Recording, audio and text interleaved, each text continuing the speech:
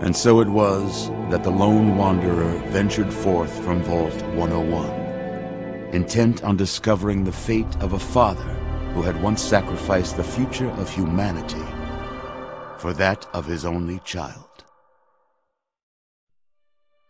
The capital wasteland proved a cruel, inhospitable place, but the lone wanderer refused to surrender to the vices that had claimed so many others. The values passed on from father to child, selflessness, compassion, honor, guided this noble soul through countless trials and triumphs.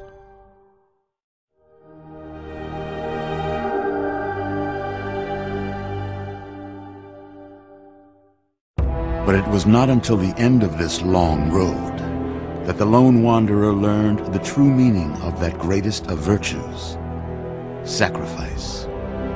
Stepping into the irradiated control chamber of Project Purity, the child followed the example of the father, sacrificing life itself for the greater good of mankind.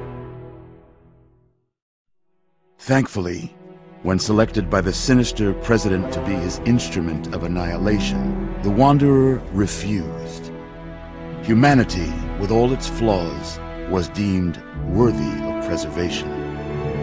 The waters of life flowed at last, free and pure for any and all. The capital wasteland, at long last, was saved.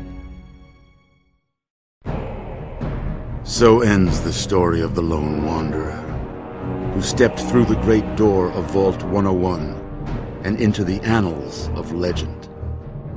But the tale of humanity will never come to a close, for the struggle of survival is a war without end. And war